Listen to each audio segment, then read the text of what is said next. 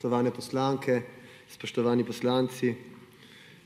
Pozdrav tudi predsedniku vlade, ki ga sicer ni med nami, verjetno nima časa, tvita, morda žali kakšnega državnika evropskega, morda kakega novinarja in nima časa za prisotnost na seji. Pomenljivo bi želel pozdraviti tudi ministre, ki jih ravno tako iz ne vem kakšnih razlogov med nami ni, tiste nepreklicno odstopljene, tiste, ki vam ni dovoljeno govoriti v javnosti, tiste, zoper katere med vami potekajo policijske preiskave, tiste, ki skomigate z rameni, ko ne premorete poguma, da bi se uprli diktatorskim težnjam predsednika vlade. In seveda pozdrav tudi vsem, ki v demontaži demokracije in republike preprosto uživate in se s poniževanjem ustave, čeprav ste prisegli drugače, žal strinjate. Poseben pozdrav moram danes nameniti žal ministrici za izobraževanje, znanost in šport. Ministrici, v času katere ministrovanja smo prvič doživeli, da organi demokratične in svobodne države po Ustavi republike preganjajo dijakinje in dijake, ker so si drznili javno izraziti zahtevo po vrnitvi v šolske klopi. S prav posebno grenkobo tako pozdravljam ministrico za znanost, v času katere so morale svoja vrata zapreti univerze in študentski domovi, ko je vlada igralnim salonom in kazinojem omogočala, da lahko mirno nadaljujejo s svojim delom. Z resnično nenavadnim občutkom pozdravljam ministrico, pristojno za šport, ki ni nikoli skoparila s čestitkami ob uspehih slovenskih športnikov in se seveda na veliko slikala z njimi na prireditvah. Hkrati pa ji ni bilo mar za katastrofalno poslabšanje gibalne sposobnosti otrok in mladine ter se ter se več za več mesecev trajajoče onemogočanje dela profesionalnih športnic in športnikov. Ter ki v vseh protikoronskih paketih ni znala ali pa ni hotela priskočiti na pomoč športnim delavkam in delavcem, za razliko od pomoči duhovnikom. Če dobro pomislim, pozdrave pravzaprav naslavljam na ministrico, ki svojega dela v resnici sploh ni opravljala. Svojo nesposobnost, nedelo in popolno podrejenost diktatu predsednika vlade pa še danes opravičuje z epidemijo novega virusa covid-devetnajst, čeprav so številne države v Evropi dokazale in pokazale, da je ob volji mogoče virusu navkljub poskrbeti tako za nemoten potek izobraževalnega procesa kot za nadaljevanje dela v znanosti, športu in na vseh področjih, kjer je Slovenija zaradi ponižnosti in nedela Simone Kustec nazadovala do točke, ko je bila otrokom, mladini, športu in znanosti povzročena, bojim se, zelo težko popravljiva škoda. Zato, spoštovana Simona Kustec, dober dan in dobrodošli. Dobrodošli na soočenju z realnostjo, ki ste jo hote ali nehote pomagali ustvariti. Prav lepo pozdravljeni na srečanju z vsem, kar je prav zaradi vas ali tudi zaradi vas v Sloveniji danes hudo narobe in se mora končati takoj.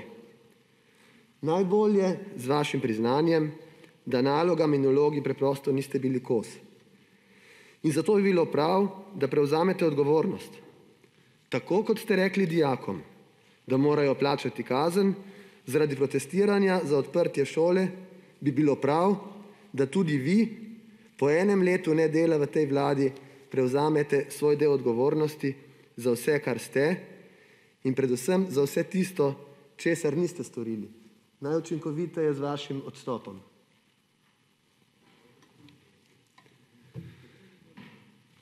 Kot že mnogokrat v zadnjem letu je bil seveda tudi moj današnji poziv k temu, da naredite tisto, kar je logično in prav, zgolj retorične narave. Po vsem, kar ste namreč naredili v škodo državljank in državljanov, ter po vsem, česar niste naredili, da bi bilo ljudem v Sloveniji bolje v teh težkih časih, žal k vam ne usmerjamo nikakršnih pričakovanj več. Svoje upe pa tako predlagatelji interpelacije prelagamo v racionalnost in treznost odločitev poslank in poslancev. Izvoljeni predstavnice in predstavniki ljudstva bi namreč morali vedeti in razumeti, da tako ne moremo več naprej in je nesporno prišel čas, da Simono Kustec razrešimo z mesta ministrice za področja, ki jih je zanemarila oziroma jih nikoli dejansko sploh ni opravljala. Interpelacijo zoper Simono Kustec smo tako poslanci in poslanke demokratične opozicije vložili najprej zaradi nesprejemljivega kršenja načela, da se tudi v časih krize šole zapirajo zadnje in odpirajo prve. Seveda v opoziciji razumemo, da je bilo leto soočenja s pandemijo novega koronavirusa izjemno zahtevno in povsem neobičajno leto. Toda, spoštovane poslanke in poslanci, ne pozabite, da je v šolskem letu tisoč devetsto triinštirideset štiriinštirideset sredi najtrše okupacije slovenskega ozemlja delovalo več kot štiristo trideset partizanskih šol, kjer so učenke in učenci sredi druge svetovne vojne skrbeli, kjer je za njih skrbelo več kot sedemsto petinštirideset učiteljic in učiteljev. Ofenzivam na osvobojena ozemlja, pregonom, deportacijam in streljanjem talcev navkljub so resnični domoljubi poskrbeli, da so bile, kadar in kjer je bilo le mogoče, za otroke šole odprte. Danes, ko imamo svobodo, svojo državo, danes, ko ni potrebe po ilegalnih učilnicah, danes pa, spoštovana ministrica, se moramo pogovarjati o najdaljšem obdobju brez delujočih šol. In ja, še enkrat moramo na glas ponoviti, pogovarjati se moramo tudi o tem, da so dijakinje in dijaki prejeli plačilne naloge in sodne pozive, ker so zahtevali, da se jim omogoči vrnitev v šole. Ponavljam, dijakinje in dijaki so prejeli plačilne naloge, ker so zahtevali, da se jim omogoči vrnitev v šole, spoštovana ministrica. To je največja sramota v zgodovini samostojne Slovenije. V času svojega ministrovanja ste torej soomogočili preganjanje dijakinj in dijakov, ker so zahtevali šole, na drugi strani pa ste s PKP zakonom političnim sopotnikom vašega predsednika vlade omogočili podaljšanje akreditacije za njihove zasebne univerze, za kar ni bilo prav nobene strokovne utemeljitve.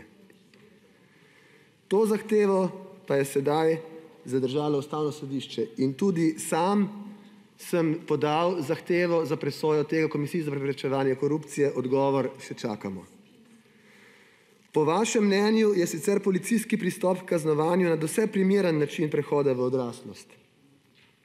Vendar, spoštovana ministrica, ali ni bil primeren način prehoda v odraslost v sprejemanje odgovornosti in v državljanski aktivizem tudi takrat, ko so vas prav ti isti dijaki pozvali, da se sestanete z njimi? In kaj ste storili vi, spoštovana ministrica? Z dijaki se pred protestom niti dobiti niste hoteli. Prav bi bilo, da bi se z njimi pogovorili o rešitvah, ki so jih oblikovali, prav bi bilo, da bi jim prisluhnili in jim pomagali. Ali pa da bi vsaj sprejeli njihovo pomoč, ko pa več kot očitno sami niste znali in zmogli oblikovati rešitev. Zakaj niste hoteli sprejeti njihovih predlogov? Kje je bila takrat odraslost, odgovornost, razumevanje položaja in spoštovanje družbenih odnosov? Kje ste bili takrat vi, spoštovana ministrica? Povejte nam danes, ali ste dialog zavračali, ker vam ni bilo mar, ali ker vam je bilo tako ukazano s strani avtoritarnega predsednika vlade Janeza Janše. To, kar počenjate, je daleč od človekovih pravic, daleč od inkluzije. Mar niste prav vi se ukvarjali s tem področjem kot raziskovalka? Spoštovane kolegice in kolegi, ministrica, ki bi morala biti prvi glas podpore otrokom, mladini, učiteljstvu, športnicam in športnikom, tega dela svoje naloge ni opravljala niti en dan svojega mandata. Simona Kustec, ki bi morala biti prvi in zadnji branik vzgoje, izobraževanja, znanosti, športa, pred nestrokovnimi posegi politike, pred škodljivimi vplivi in ukrepi, pred javnim blatenjem in zaničevanjem je bila ves čas trajanja njenega mandata žal le nema in kimajoča izvrševalka politike predsednika Vlade. Bila je prinašalka in prenašalka slabih, praviloma tudi nekonsistentnih in s stroko neusklajenih odločitev in novic. Spoštovana gospa ministrica, pred časom ste na tiskovni konferenci dejali, da se zavedate, da so državljani na vas jezni. Rekli ste tudi, da ste jezni sami nase.